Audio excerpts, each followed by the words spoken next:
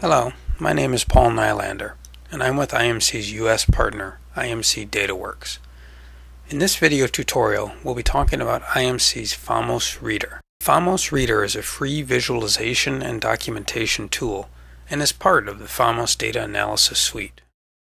Although the reader excludes Famos's data analysis and macro engine, it is still the most powerful tool around for visualizing and documenting measurement data, and we believe will satisfy the needs of many people involved in test and measurement.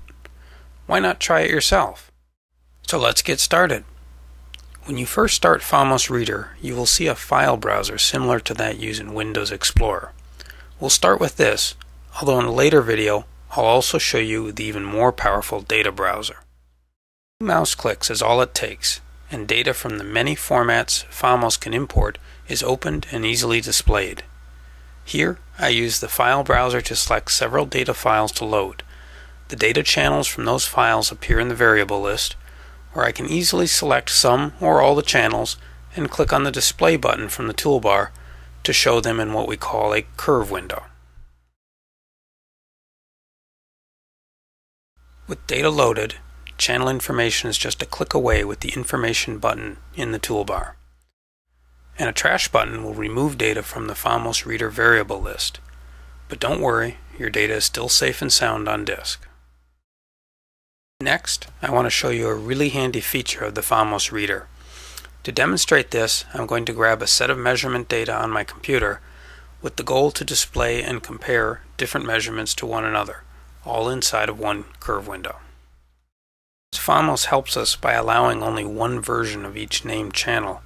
I want to put Famos Reader into a dynamic loading mode. I open the Options dialog, which is found under the Extra menu. On the left side I click Load and choose Selection Mode on the right side. This makes all file loading through the file browser dynamic, or if you prefer, temporary. And here's why this helps.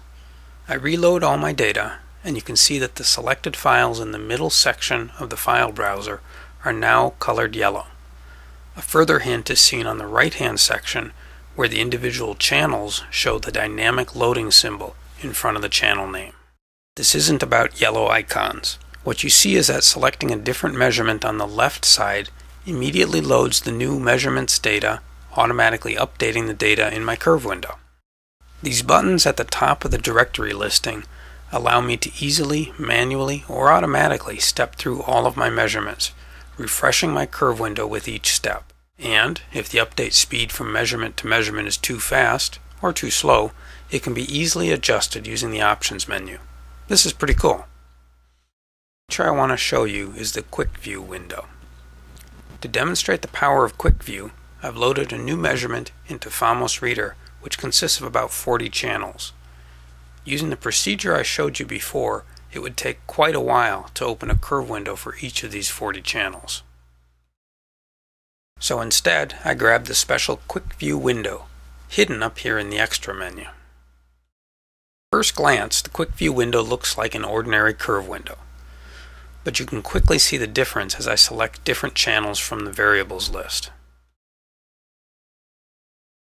Quick View window automatically shows whatever is selected in the variables list and is dynamically updated the instant I change my selection. The next feature of Famos Reader I want to show you is the waveform editor. As you will see, the waveform editor is something of a spreadsheet view, but designed specifically for measurement data. Again, I will load some data using the reader's file browser. With my variables selected, I bring up a curve window to view the data and then I will bring up the waveform editor using the extra menu, or the convenient toolbar button. Dragging this special button from the waveform editor's toolbar, I designate the curve window to link to by where I drop the linking tool. Once linked, when the cursor in the curve window is moved, the waveform editor is scrolled to match, showing the actual measurement values in the waveform editor corresponding to the graphical view in the curve window. What you also might not expect is that I can view the data in the waveform editor taking into account the original trigger time and sample rate. Selecting this mode, you can immediately see that the data I'm viewing is sampled at three different sample rates. In time corrected mode, the height of the cells in the spreadsheet represents the correct relation of the time per sample. As the name implies, the waveform editor can also be used to edit individual samples within the data curve stored in memory.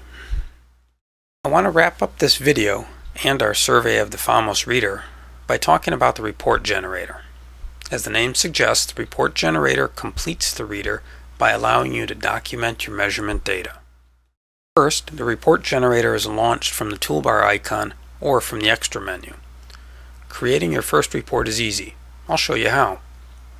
I'll start by creating a visual frame for my report, then use a text element to create a report title.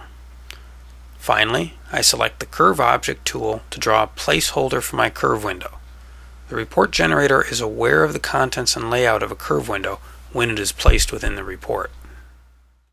You may have noticed that after I drew the curve object frame, the mouse pointer changed appearance. With this linking cursor, all I need to do is click on the curve window I wish to import into the report, and the curve window contents are rendered automatically in the report for me. The report is always shown in its final printable form. In this case, the curve data was rendered in the report generator in black and white, because that's what my curve window's printer color settings were preset to. I'll not bore you with my dragging and dropping, but instead just load a previously created report which is a little more interesting to look at. In this case, the report was saved with some previous data. Reusing this report, or treating it as a template, is actually very easy. I can simply drag and drop a curve window onto the previously created report, replacing the existing contents of one of the curve objects.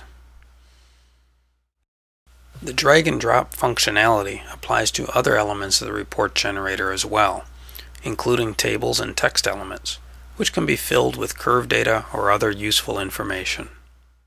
With that, I will conclude the first part of the Famos Reader tutorial. Be sure to check out subsequent video tutorials and download the reader itself from imcfamos.com or through your local distribution partner, such as imcdataworks.com for U.S. customers.